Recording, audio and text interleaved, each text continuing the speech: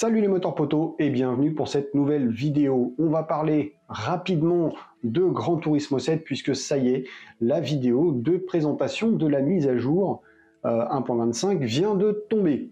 Et comment dire, euh, là ça sent quand même un petit peu le foutage de gueule puisque donc la vidéo est tombée mais avec le texte descriptif qui va avec bien entendu et le contenu de cette mise à jour en dehors des quatre voitures que l'on avait déjà vues, eh bien ça va être l'ajout de nouvelles scapes voilà, des nouveaux arrière-plans pour vos photos.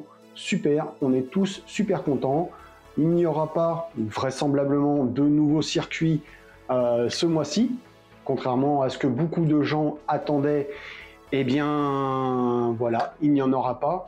Euh, j'imagine la déception de beaucoup. En tout cas, moi, je suis extrêmement déçu. J'attendais vraiment un nouveau circuit euh, ce mois-ci.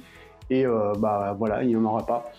À moins que j'ai raté des éléments dans le, dans le teaser qui laisserait transparaître un nouveau circuit, mais j'ai pas vu, enfin j'ai rien vu qui m'a choqué plus que ça.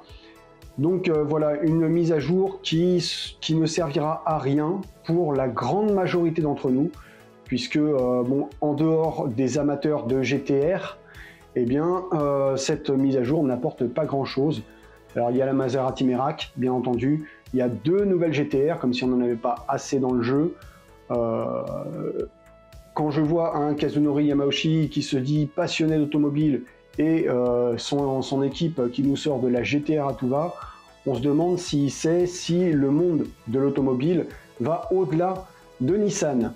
Euh, il y a tellement, tellement de voitures qui existent dans le monde, même pour les marques pour lesquelles vous avez des licences, hein, chez Renault, chez Peugeot, chez Citroën, pour ne citer que les marques françaises, bien entendu, chez Audi, chez BMW, vous avez les licences également pour, pour ces, pour ces marques-là. C'est quand même incroyable de se contenter à nous rabâcher encore et encore les mêmes, euh, les euh, contenus.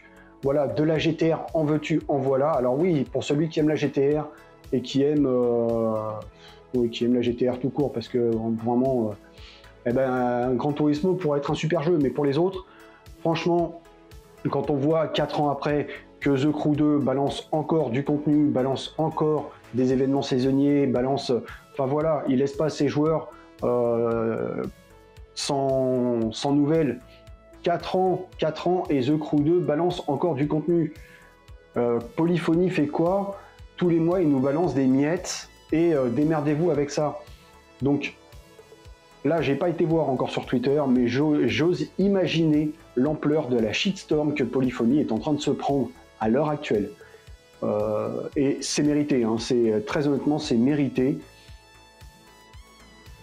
Et j'ai qu'une seule envie, même j'ai envie de dire, c'est que Forza Motorsport arrive. Il reste 5 mois, 5-6 mois avant la sortie de Forza Motorsport 7, de Forza Motorsport, pardon.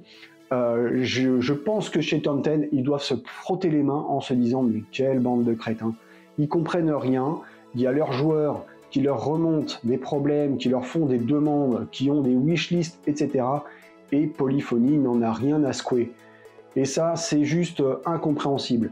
Alors, encore une fois, peut-être que je me trompe, peut-être que je m'emballe en voyant le pauvre euh, contenu annoncé de cette mise à jour et peut-être que le changelog demain sera un petit peu plus important. Mais en attendant, je veux dire, c'est vraiment pas avec ce teaser que Polyphonie va nous faire rêver. On a envie de plus, on a envie de mieux, on a envie de nouveautés.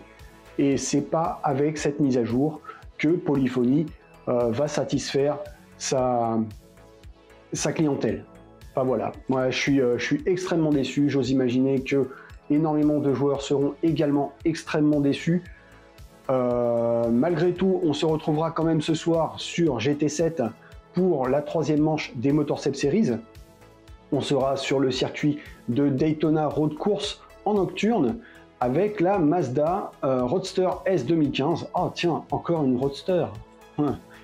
C'est marrant, il y en a encore une qui arrive demain.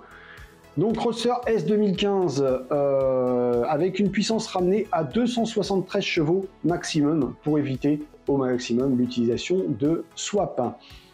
Voilà, donc n'hésitez pas à me dire ce que vous pensez de l'annonce de cette mise à jour, ou j'ai plutôt envie de, dire cette non-annonce, hein, parce que là c'est vraiment une non-news, hein, euh, de cette mise à jour. Euh, n'oubliez pas bien entendu de vous abonner, d'activer la cloche, le petit like qui fait super plaisir. Et n'oubliez pas non plus qu'on se retrouve régulièrement en live sur Twitch ce soir 21h, manche 3 des Motorcept Series. D'ici demain, prochaine vidéo pour faire le débrief de cette mise à jour en espérant vraiment que les changelogs soient un petit peu plus fournis que ce qui nous est présenté. Et eh bien d'ici là, je vous souhaite une bonne route et bien entendu, soyez sages au volant. Kenavo